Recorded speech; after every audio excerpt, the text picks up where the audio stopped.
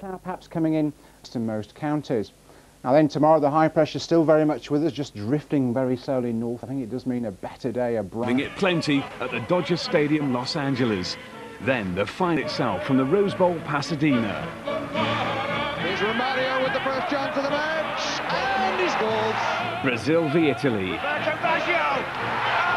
Uninterrupted coverage with Lynam, Venables, Hansen Hill and Davies. World Cup final night on song, on target on BBC One from 6.15.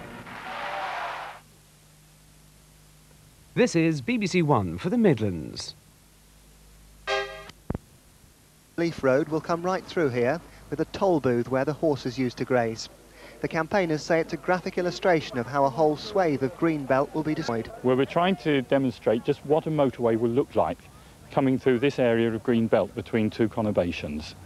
We're trying to indicate that the peace and tranquility in these fields will be lost forever. Later, the protesters lay down in the field to spell out their objections for a photographer in the sky. A public inquiry into the road is continuing.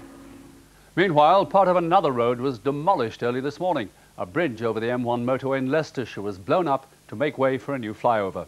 Our transport correspondent, Peter Plisner, was there to see it disappear.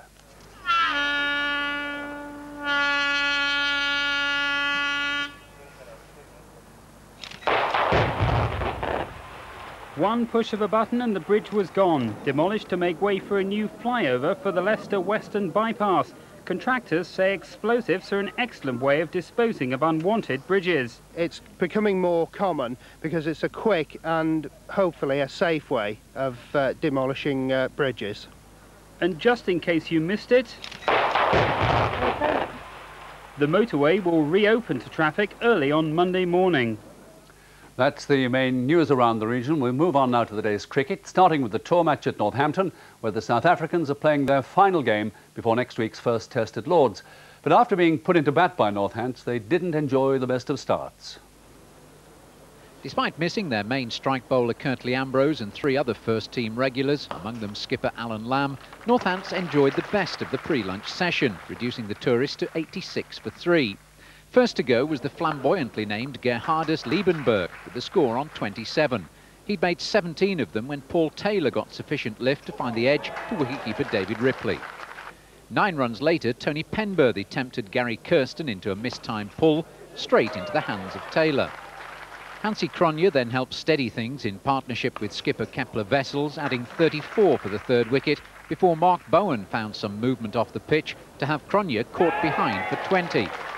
Northants continued to hold the upper hand after lunch as Peter Kirsten became Taylor's second victim, caught by Penberthy for nine to leave the South Africans on 100 for four. But that was the signal for Wessels to take control as he moved towards 70, while at the other end, Jonty Rhodes was lending good support. By tea, the tourists had moved on to 207 for five, with Rhodes still there on 40. And the latest from the county ground, the South Africans have moved on to 230 for five. We move on to the county championship where the top game is at Guildford and that's where Warwickshire made 399 a second innings to set the leaders Surrey a victory target of 503. News of their progress comes now from Tim Beach of Radio WM. Surrey are currently 63 for 1 in their second innings, chasing that but unrealistic total of 503 to win. It was Andy Moles who made the task so mountainous, scoring an unbeaten 203 in the Warwickshire total of 399, the highest first-class score of all time on this ground. Surrey then lost Alex Stewart early in their reply, but they've since recovered a little. They're 63 for 1. And there's been one result in the championship today at Portsmouth, where Hampshire have beaten Gloucestershire by 165 runs. At Canterbury, Worcestershire have built up a commanding first innings lead over Kent, making 422. That's a lead of 256. Kent in their second innings are 29 for 1.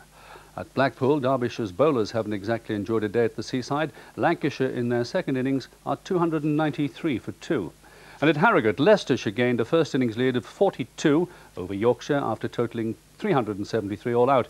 Yorkshire, second time around, have reached 127 for 3. Well, that's it. A reminder, of course, that uh, all local radio stations, see local radio stations that is, operate during the weekend, right throughout the week too. We'll see you Monday from me. Goodbye.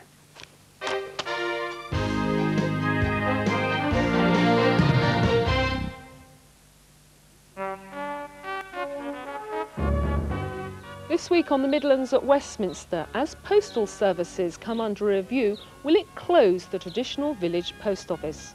Join us at 12 noon over on 2 tomorrow.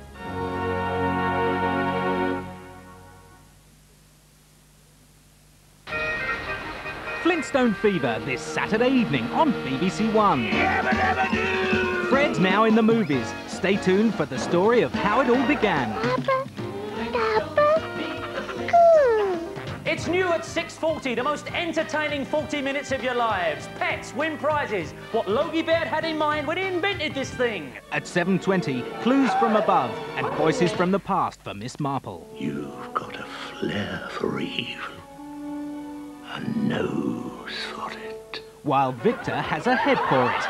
And a phone that never stops barking. 4291. At 5 to 10, the greatest plane ever flown, the Firefox, built in Russia, wanted in America. You've got to steal it. Stow away this Saturday evening with BBC One. And all that's after a group of stars have hit the road on BBC One. Could this be another galactic collision? The morning after. Questions. I nearly got killed out there. He was standing still. He was taken off. Roughnecks, Thursday, 9.30, BBC One. It's my daughter's wedding day. She'll be wanting her father. When it comes to getting on television, some animals will do absolutely anything.